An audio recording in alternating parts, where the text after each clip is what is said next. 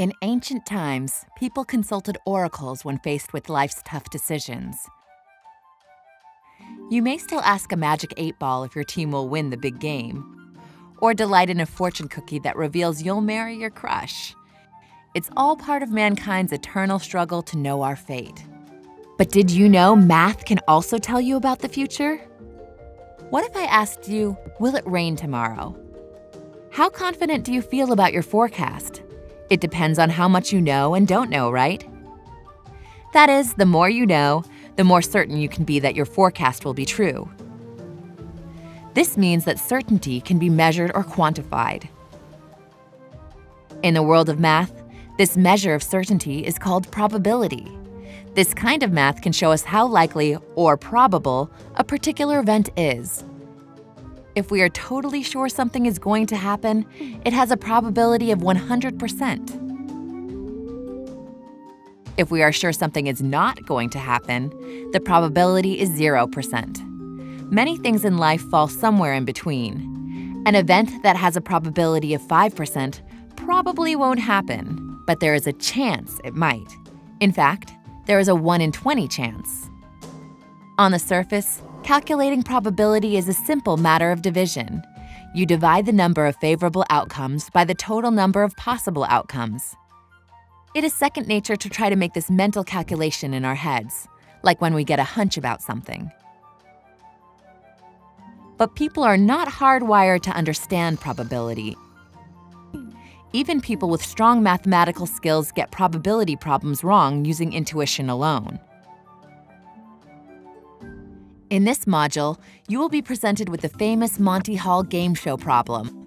In this problem, you can choose between three doors. Behind one is a car. The other two have goats. After you make your choice, Monty opens one of the other doors behind which there is a goat. Monty then asks you if you would like to switch your choice.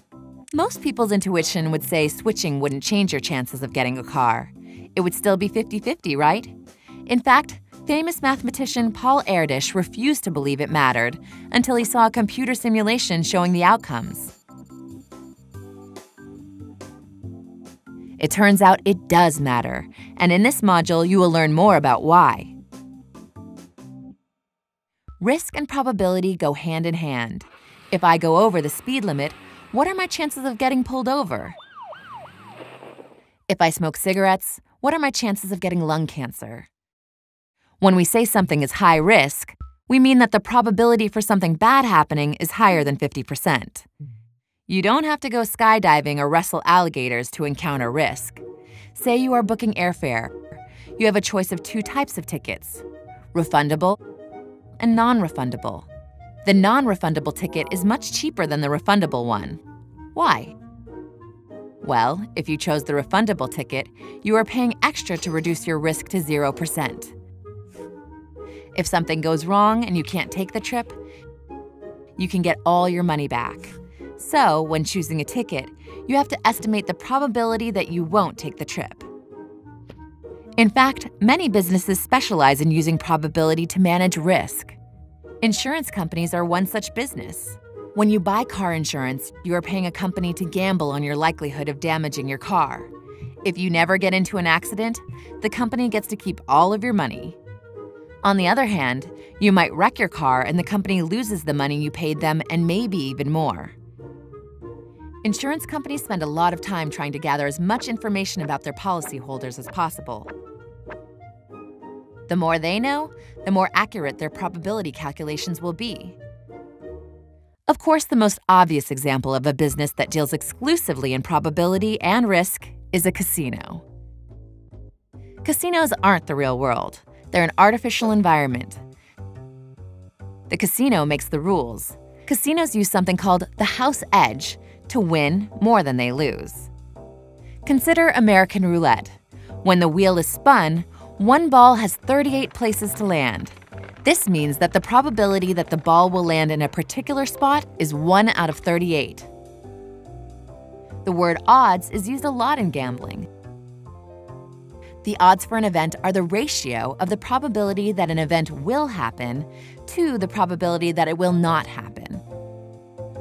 You'll learn how to calculate odds in this module. In roulette, The mathematical odds for landing on a particular spot are 1 to 37. So in theory, if you bet $1 that the ball will land on a particular spot, and it does, the casino should pay you $37. But they don't. The house odds for roulette in most casinos are 1 to 35. This means if the ball lands on your number, the casino will pay you $35. $2 less than what is expected. This is the house edge, and it's how casinos make money. For roulette, the casino makes 5.26% profit thanks to the house edge. Casinos are playing the long con, so to speak. They make money by being more right than wrong over the long term. They are exploiting something called the law of large numbers. This means that the more times the game is played, the closer the casino's average number of wins will approach the house edge. Some people will bet only once and leave the casino. Some will stay for hours. Some will win and some won't. But the casino doesn't have to beat every player every time. Over the long haul, they'll always win 5.26% on their roulette game. That is, for every 1 million that is gambled on the roulette wheel, the casino will always make about 53,000 in profit. This is called the casino's expected value for roulette. You'll learn about how to calculate expected value in this module. One of the trickiest things about working with probability is calculating the number of possible outcomes. One way is to draw a tree diagram. For example, how many outcomes are possible from rolling two six-sided dice? A tree diagram can link up each possible event for one die with each possible event from the other die. Then you can just count the number of lines and voila! You've got your number of outcomes. Wait, but look, if you just multiply the number of outcomes from one die by the number of outcomes on the other die, you get the same answer without all the laborious tree drawing. This seemingly magical trick is called the fundamental counting principle and can be a lifesaver when working with large numbers of outcomes. If we apply the fundamental counting principle to a pack of 52 cards, things get a little more crazy. How many different ways can you stack a deck of 52 cards? Well, there are 52 choices for the first card. Once that choice has been made, 51 cards remain, leaving 51 choices for the second card, so altogether, that's 52 times 51 choices for the first two cards. 50 choices remain for the third card. So now we have 52 times 51 times 50 choices for the first three cards. We continue like this all the way down to 2 times 1. This is a factorial, and it's written like this. The actual number of 52 factorial is 68 digits long. A simple deck of cards can be arranged in more ways than there are molecules of water in all of Earth's oceans. A randomly stacked deck of cards has probably never been stacked exactly that way in all of history.